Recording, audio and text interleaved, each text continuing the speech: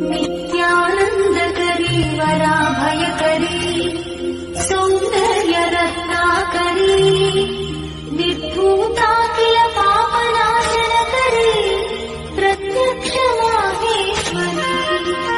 प्राणि